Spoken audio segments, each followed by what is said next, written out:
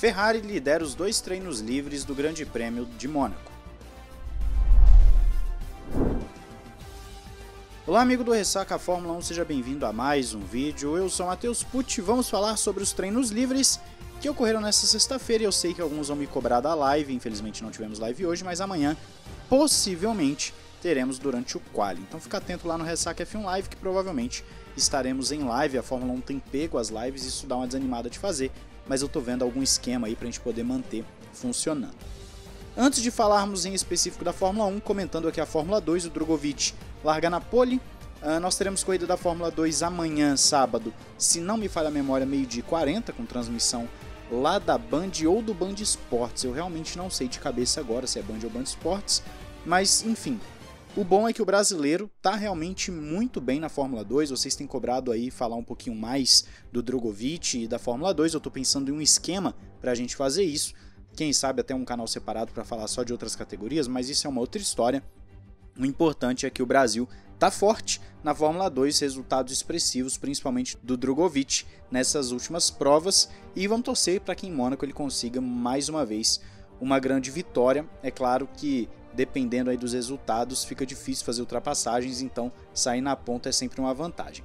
Mas agora vamos de Fórmula 1 em Mônaco. A gente já sabia que com esses carros pesadíssimos, esses carros extremamente lentos de curva de baixa, seria difícil para os pilotos fazerem boas voltas ou se sentirem confortáveis no carro. O Hamilton já está falando sobre isso.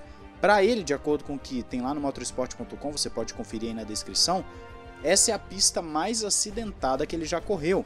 Tem reta que às vezes dá mais de 100 pulos e o carro realmente fica até com as rodas fora do chão em determinados trechos porque tá muito kick e isso não seria um kick por parte do porpoising, porque é em baixa velocidade, o porpoising não ocorre em baixa velocidade, então seria um kick da pista mesmo.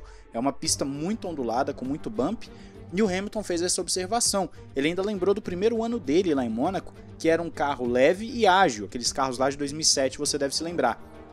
Agora são carros super pesados e que as zonas de frenagem são diferentes. Além disso, de acordo com Hamilton, fazer a volta é difícil. Agora, tem um momento que ele fala que seus globos oculares estão saindo das órbitas. E aí tem algum trabalho a fazer durante a noite para tentar consertar isso.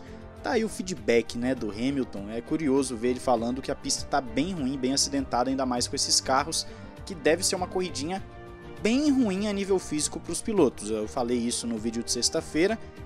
Vai ser uma exigência física muito grande e claro que a gente vai ficar de olho porque isso pode influenciar. Lembrando que existe a possibilidade de chuva para domingo por mais que esteja diminuindo essa possibilidade, ainda assim, se chegar a chuva, vai ser um desafio a mais, né? Os pilotos manterem o carro na pista, sendo que nas duas sessões de treinos livres com o sol já teve muita gente dando escapado, o Leclerc mesmo deu umas saidinhas às vezes, os pilotos alguns bateram, como foi o caso do Ricardo. Então foram sessões um tanto quanto acidentadas, com bandeiras vermelhas, amarelas.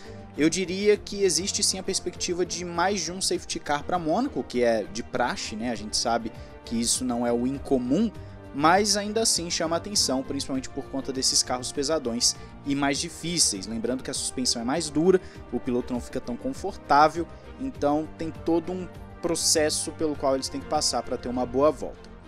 A Red Bull se mostrou surpresa, principalmente o Pérez, com o ritmo das Ferraris. As Ferraris lideraram os dois treinos, fizeram bastante teste com os macios também, e a Red Bull parece que está devendo, pelo menos de acordo com o Pérez eles estariam surpresos e vão ter que analisar os dados para entender onde é que eles estão perdendo tanto.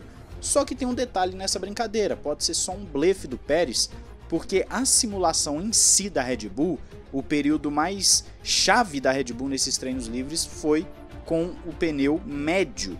Então a Red Bull ainda não mostrou necessariamente a que veio. É claro que a Ferrari começa forte o final de semana, assim como foi lá em Barcelona, por exemplo, mas talvez a Red Bull esteja dando uma escondida de jogo, que não seria incomum. Mas o que importa, como diz o próprio Pérez, é o Q3. Às vezes, numa escorregada, numa batida, os rivais podem ficar para trás. E aí, claro, que é uma loteria, ou melhor, não é só uma loteria, é uma questão também de habilidade, de perícia, do carro tá certinho, é um conjunto de fatores que vai levar a volta perfeita do Q3 para ver quem sai com a pole. E é uma pole que eu diria que tá bem assim, difícil de cravar, pelo menos eu tô achando nesse momento. hum, eu não apostaria nem em Verstappen nem em Leclerc por agora.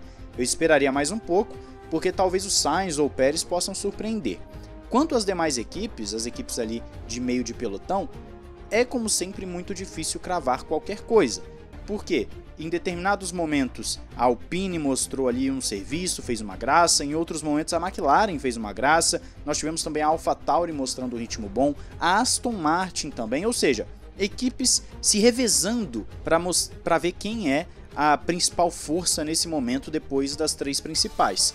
Então eu diria que o meio de pelotão pode ficar bem embolado e pode gerar uma corrida bem legal. Até pode gerar uma corrida bem legal, eu vou ficar com essa expectativa, pelo menos baseado nessa sexta. Ainda tem mais um treino livre e temos o quali amanhã para definir. Lembrando que Mônaco é uma coisa muito à parte, né? O quali tem um peso maior ainda do que geralmente já tem. Mônaco, se você larga em primeiro, a chance de você terminar em primeiro é muito grande, a não ser que perca nos boxes ou bata, enfim, alguma coisa muito fora da curva aconteça. Mas é uma pista que, como todos nós sabemos, a posição de largada conta muito a corrida começa no sábado mais do que nunca neste final de semana. Então, o resultado do quali pode ser fundamental. Às vezes vale mais a pena você investir no ritmo de quali do que no ritmo de corrida, porque na corrida você consegue segurar os seus oponentes. É muito difícil de ultrapassar em Mônaco, é quase impossível, ainda mais com esses carros gigantescos. Se você pega para ver, por exemplo, aquelas onboards ou então as imagens de ultrapassagens da década de 90, 80 em Mônaco, você vê que já era difícil. Imagina com carros que são quase o dobro do tamanho, fica praticamente impossível. Vamos ver como que os pilotos vão se sair. Outro ponto importante é que amanhã provavelmente o quali vai ser um caos. Você lembra do caos que é todo ano em Mônaco e também que é todo ano em Monza? Pois é, deve ser algo nesse nível também, até porque se você pegar o exemplo da Fórmula 2, a Fórmula 2 dividiu em dois grupos para fazer o quali. E mesmo assim, em alguns momentos os caras ainda atrapalhavam um ao outro. Eu diria que a Fórmula 1 precisaria levar para esse lado em Mônaco. Mônaco, na verdade, teria que ter um formato diferente de final de semana, não só no sentido de, ah, vai ser na quinta, vai ser na sexta o treino livre, não é sobre isso. É um formato de quali e de corrida diferente, que faça com que a pista tenha um brilho a mais. Então, se o quali fosse diferente em Mônaco, ou se o esquema da corrida fosse diferente, eu acho que seria mais interessante para não virar essa procissão que todo mundo reclama. Todo mundo, ah, nossa, Mônaco, que chato e tal. Então seria interessante. Imagina se Mônaco mudasse o esquema do Grande Prêmio, não fosse o tradicional, mas fosse algo, sei lá, vou dar uma ideia aqui aleatória só para jogar na mesa. Quem sabe fosse os pilotos fazerem uma série de voltas e quem fizer o menor tempo ou a maior velocidade média ganha, enfim.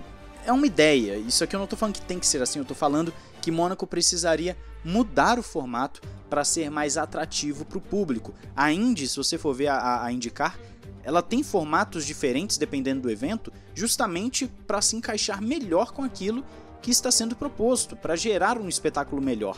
E o espetáculo atrai público, o público atrai dinheiro, e então a Fórmula 1 sairia ganhando. Mas enfim, aí é uma outra linha de raciocínio, eu estou já viajando aqui. Eu quero saber a sua opinião sobre os favoritos para a corrida de domingo. Um grande abraço, valeu e falou!